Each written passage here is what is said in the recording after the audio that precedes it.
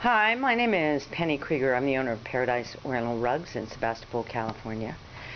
I'm doing a video today of a beautiful Persian Bijar. This is a new rug woven in an antique design.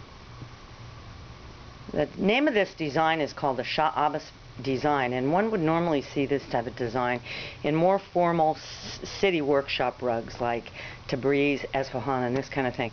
Uh, this is a tribal rendition of that and the colors in this rug are absolutely glorious. Um, there's a green in here that I've rarely seen.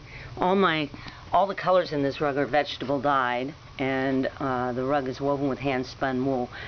Uh, this green is a, a, combination forest green and teal together is just amazing. And here we have teal in the background.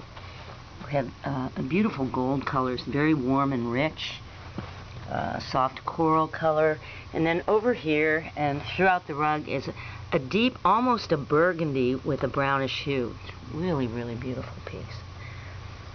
Um, the size on this rug is 8.2 by 10.8 and this is not an antique rug. This is an antique design, newly woven rug.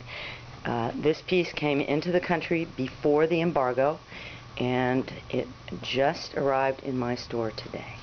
So there you are. If you have any questions, please give us a call at 707-823-3355 or take a look at my website, which is paradiseorientalrugs.com. Thank you for watching.